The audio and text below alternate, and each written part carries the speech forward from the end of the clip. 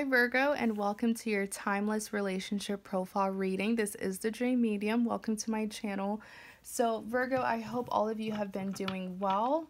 Um, this reading is for Virgo, Sun, Moon, or Venus. So, I'm just going to go ahead and shuffle the cards and we will look into the past, present, and future of your connection with your love interest. Past, present, and future reading for Virgo and their love interest.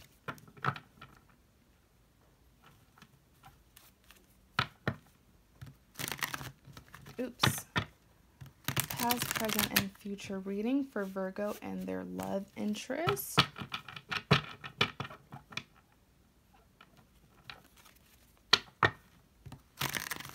Well, Virgo, seems like the cards don't want to talk. Let's see. The World card, Four of Cups, and the Two of Pentacles. So this is your, your past spread. Ten of Pentacles, Knight of Wands, King of Pentacles. This is your present spread. And over here to the side, we're just going to put your future. So starting with your past, what happened in the past between you and your love interest? You have the World card. Let's clarify this. Page of Swords.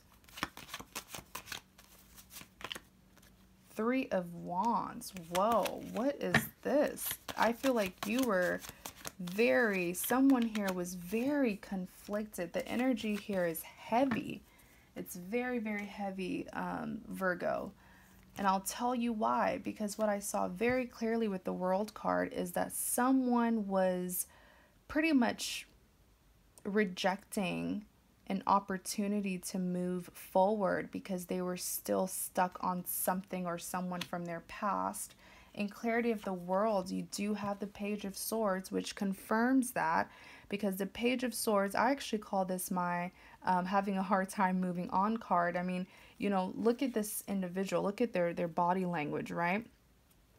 See their left foot sort of at halt and then their their right foot is like pointed forward it's like they're conflicted they're wanting to move forward but they're unable to because they're still so curious about what happened or someone from their past. They're even standing on a high platform or a higher platform to get a better view of what's behind them. So, this is definitely a person who is struggling to move forward. In Clarity of that World card, you also have the Three of Wands. So, it's really and you know what the page of swords the messages here are pretty much confirming each other because with the page of swords you have an individual who is really wanting to move on but their heart is still in the past. But the thing is although they're curious about something or someone from their past they're holding this sword up. So whatever it is that they're still concerned about from their past is something that most likely hurt them okay? But they're conflicted because it's like their heart is still calling out for this thing or this person. In Clarity of the World card, you do have the Three of Wands. So I do feel like with the Three of Wands, this is them feeling very defensive towards the situation. The energy that I'm picking up is very unhealthy, but it's like very stagnant as well because this is an individual who is sort of at a standstill they're not choosing to move forward, but they're not choosing to go back to this specific person from their past either. So it's like, what are they really doing? Being stuck in their head and not taking action. Um, the lastly, you also have the devil card that's clarifying that world, that world card that came out. So the devil card here represents toxicity. Okay, sometimes the devil card um, when it comes out in a love reading, it could even, it could, it could even represent a karmic connection. But simply, the devil card is saying that there is an unhealthy bond that the two of you have with each other, which is why you were unable to move forward, but you were also unable to make or to take action pertaining to this individual. You are stuck. Next, you have the Four of Cups you have the Six of Cups, which is my reunion card. You have the Ten of Wands.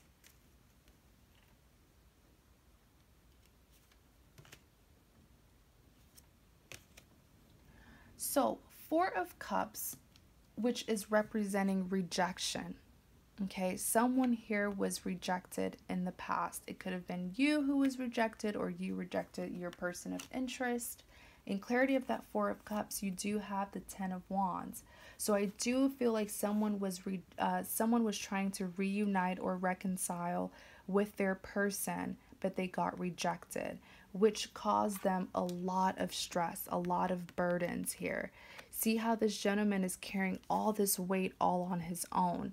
I do feel like the person who got rejected um, started feeling like this may just be um, an unrequited love situation and it caused them a lot of heartbreak. Looking at the Two of Pentacles, Four of Pentacles, the Hierophant. Actually, let me pull out one more because I feel like Four of Swords. Something's telling me that this is the energy of your person in the past. Hmm.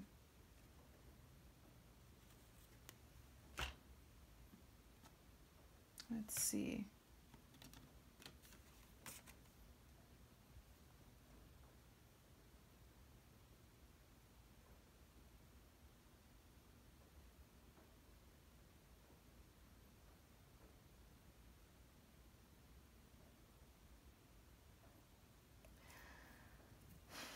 You know what? It could be that you were the one who was wanting a reunion, but you got rejected or you felt rejected because they were already with someone else.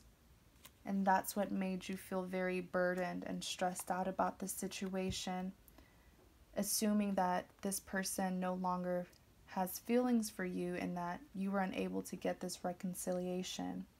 So re- just remember that it's general. So take what resonates, leave what doesn't and remember that the energies can be reversed, okay? So if I said that you did something and you know you didn't, that it was your person, then there you go. Just apply it to the situation if it is resonating. So this Two of Pentacles here is indecision, someone who's juggling. This is certainly the energy of your person in the past because when you initiated the reunion, although you felt rejected, it sparked it sparked a thought in their mind like, wow, maybe this isn't completely over between um, my Virgo and I. In Clarity of the Two of Pentacles, you also have the Hierophant. So, actually, let's talk about uh, the Four of Pentacles because the Four of Pentacles and the Four of Swords came out before that Hierophant. The Four of Pentacles is saying when you initiated that reunion. It may have not been a good timing though, because they were probably dealing with someone else. But it at least made them think, wow, it may things may not be over. Maybe there is a chance here.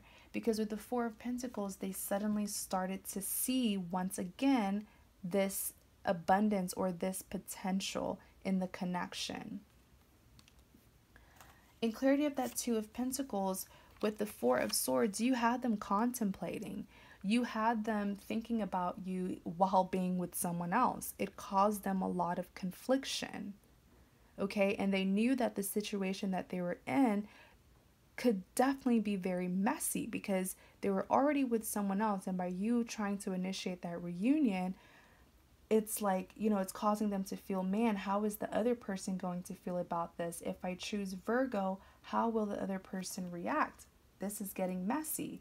In Clarity of the Two of Pentacles, you have the Hierophant. Like I said, he's, he's, some of you are dealing with a male, some of you are dealing with a woman, but they, your, your person of interest is feeling like they have to make a decision and they have to choose.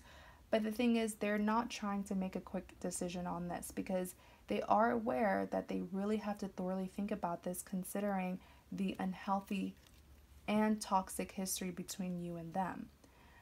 Now, this is your past, uh, this is the last card in your past, so it's most likely going to lead into your future or have major influence over your present. I'm sorry, lead into your present. This is your present spread. So, looking at your present spread, you have the uh, Ten of Pentacles, Knight of Wands, and the King of Pentacles. clarify the Ten of Pentacles. You have the Wheel of Fortune.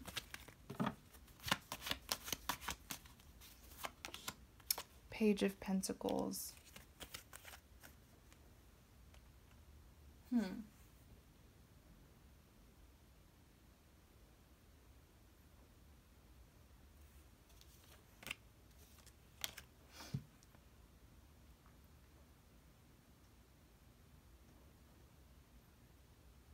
Wow. Okay. The message is clear here.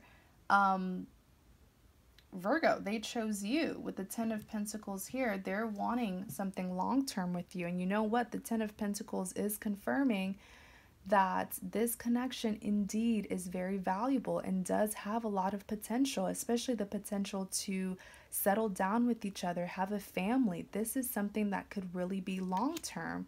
In clarity of the Ten of Pentacles, you do have the Page of Pentacles. They chose you.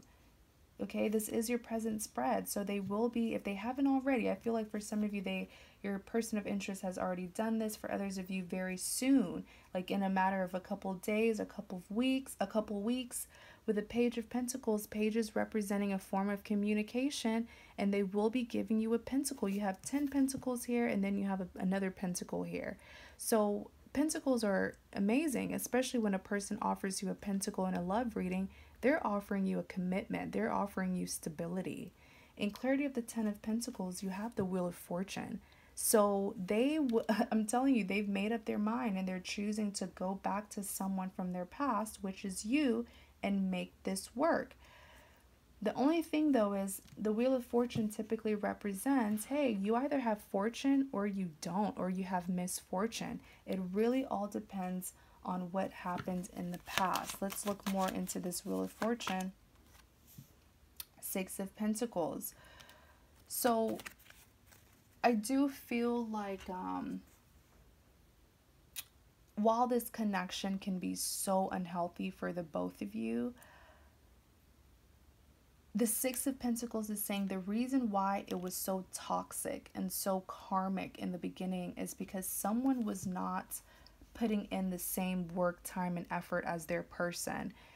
There was a there was a major imbalance in the connection in the past. Like someone, one partner was doing all the work and their person was not meeting them halfway. All right. So I do feel like um, that that is really why you know things couldn't work out between the two of you in the past. Now the Six of Pentacles is all about balance. So as we go further along in your reading, I will tell you, you know, if this is something that you have fortune on or if this is something that you will experience misfortune because remember that devil card did come up in the in the in the past. Clarify the Knight of Wands. Justice.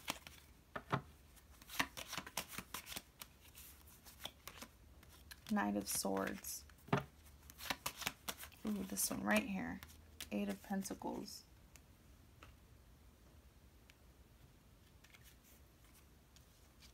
Hmm.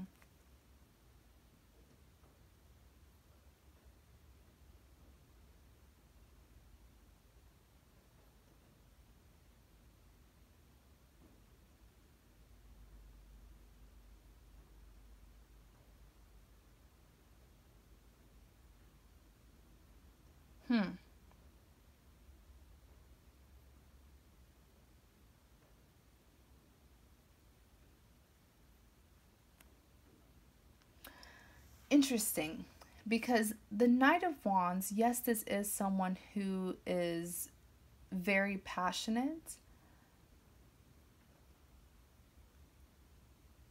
But I do feel like this person does have good intentions. Like, I understand that in the past they may have, or you felt rejected by them, but excuse me, this connection,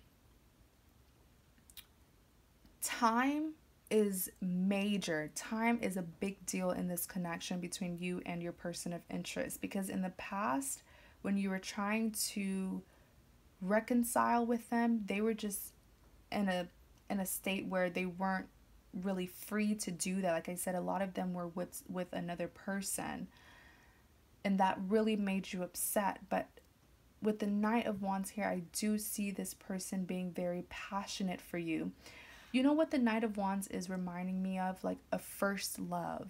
You know how, like, people can be very crazy when it comes to their first love. I feel like you don't, you know, the two of you don't necessarily have, have to be each other's first love, but that's how this connection feels to them, where they're willing to leave you know opportunities to, to have a new beginning with other people leave that or reject that opportunity in order to come back to you because you do have that very um, strong and, and powerful hold on them. There's history here between the two of you. In clarity of the knight of wands you do have the justice. So i do feel like um, while this connection was karmic in the past where it's headed now, it will no longer be a karmic connection because whoever was in the wrong, they're having to sort of pay off that karmic debt. Okay, let me let me try to explain it better. Whoever was in the wrong, they're the ones who's having to rectify, you know, fix their mistakes and restore the balance between you and them because in the past I'm telling you one one partner here was doing all the work which was an injustice to them.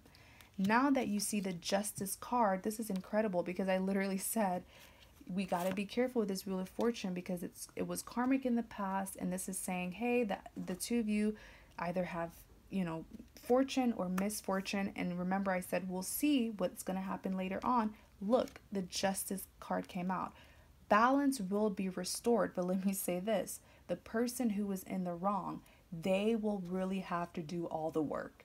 And I guess that's just a taste of their own medicine because they were making you do all the work in the past. But like I said, with the Knight of Wands, they have a lot of passion for you. I do see this person having to go above and beyond to uh, regain your trust.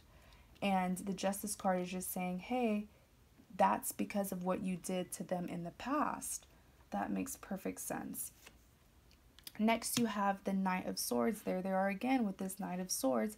I do feel like right now things are not a hundred percent like things are not perfect you know things are not where you want it to be i do feel like the two of you tend to clash or have been clashing recently and it's just because your person is so passionate that I feel like sometimes they can come off as reckless because they're so hot, they're so anxious to rectify this.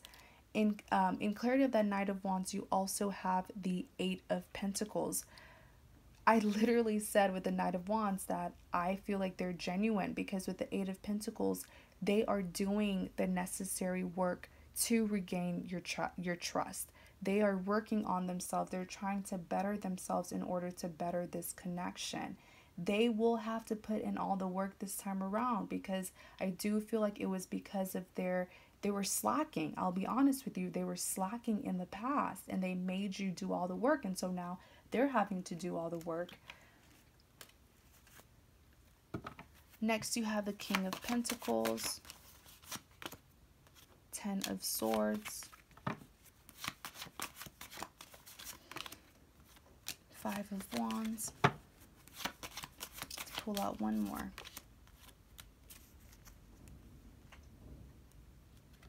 Hmm.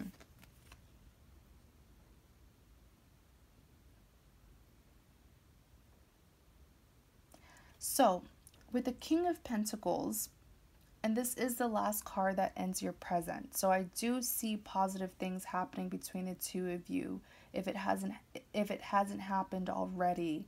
In clarity, so let me just tell you about this King of Pentacles, right? Because the King of Pentacles is someone who is very very stable. This is someone who is very sure of what they want. The King of Pentacles will never, you will never see the King of Pentacles being indecisive or juggling two people.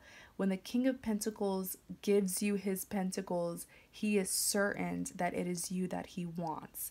So the King of Pentacles is really just assuring you, Virgo, that despite what happened in the past, your person has transformed in clarity of the king of pentacles you do have the ten of swords though as well as the five of wands. Virgo i have to be honest with you. I feel like you have been putting this person through a lot. You've been making them jump through hoops and loops and i don't blame you. Um, a lot of you are just trying to give them a taste of their own medicine but i really feel like regardless of that it's really just the karma on their side for making you do all the work in the past. So you know, the Ten of Swords is really them being feeling rejected. The reason why they're going to feel rejected by you is because they will feel like they're the only ones doing all the work. Interesting, right? Because that's how they made you feel. But it's crazy because like with the 10 of swords, it's going to hurt them so much. Like this this is a serious card right here. This is the ultimate betrayal. Isn't it funny how now that they are feeling how they made you feel, they can't even handle it. They're over here being this dramatic 10 of swords. And you you also have the 5 of wands. Like I said, I do feel like there's been a little bit of tension, some disagreements between you and them. But it's, you know, things are headed towards towards something better because really the five of wands is just them not being able to cope with their emotions especially being able to cope with you not you know, always doing the work. The fact that you've kind of taken a step back is making them feel like they're losing you. Lastly, you do have the Nine of Pentacles. So I do feel like presently, uh, Virgo, you guys are surely in your power with this Nine of Pentacles. When I tell you you are unbothered and you are watching karma do its thing with this person, I really feel like you guys are just watching your person run circles and go above and beyond to make this work because they messed up big time in the past. I really feel like, especially with this devil card, this toxicity most likely came from their end and their um, unwillingness to meet you halfway in the connection. But, you know, the Nine of Pentacles ending your reading is saying that you will get everything that you were trying to to get in the past because your your efforts did not go unnoticed. So the Nine of Pentacles is saying you're already very abundant. You will, like, things will end in your favor and you know it because you see karma work. So, really, Virgo, if I were you, I would just keep on doing what you're doing. Focus on yourself, work hard, and watch your person, you know, run circles to, to get you to, to forgive them. But if this, you know, in all seriousness, if this is an individual who you do want to give a second try to, I will tell you this they are doing the best that they can to fix what they broke, okay? So, Virgo, thank you guys so much for watching. We will reveal the future in the extended reading. The extended reading is $4.99. Um, it is on my website, so if you want to view the extended reading, please check the description box and you will see the link to my website. Um, please remember that this is a general reading. So if you would like a private reading where we will go more in depth with your situation and your love life and your person, you're more than welcome to uh, visit my website as well for that and book a private reading with me. Also, please like, comment, and subscribe to support my channel. Thank you guys so much for the support, Virgo. I really do appreciate each and every one of you. You guys, please stay safe. I wish you the best and you have a great day.